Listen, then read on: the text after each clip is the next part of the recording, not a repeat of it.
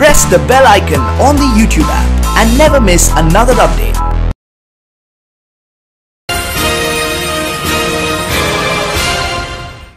Cricket में batsman को switch hit या रिवर्स हिट लगाते हुए गेंद को सीमा रेखा के पार पहुंचाते हुए देखना फैंस को रोमांचित कर देता है। बॉलिंग में भी एक्सपेरिमेंट किए जाते रहे हैं। इमरान खान और वसीम अकरम की रिवर्स स्विंग ने कई बल्लेबाजों के विकेट उखाड़े। वहीं सकलेन मुश्ताक और हरभजन सिंह के आगे भी बल्लेबाज लड़ खड़ाते हुए नज़र आए हैं। लेकिन 360 डिग्री बॉलिंग के बारे में ना कभी किसी ने सोचा और ना ही देखने को मिला।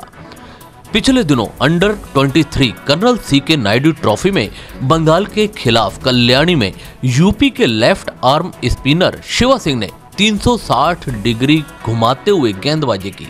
लेकिन एम्पायर विनोद शेषन ने उस गेंद को डेड बॉल करार दिया।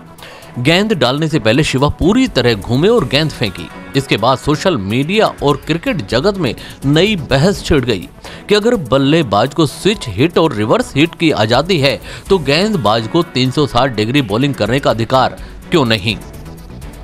पाकिस्तान के पूर्व तेज गेंदबाज शोएब अख्तर ने ट्वीट किया, वाह, क्या 360 डिग्री गेंदबाज है? ऐसा पहले कभी नहीं देखा गया। वहीं पूर्व भारतीय ओपनर आकाश चोपड़ा ने एक वीडियो जारी कर बताया कि इस मामले में क्या होना चाहिए युवराज सिंह ने अपने ऑफिशियल इंस्टाग्राम अकाउंट पर इस वीडियो को पोस्ट करते हुए पूछा कि ये गेंद लीगल है या नहीं press the bell icon on YouTube and never miss another update.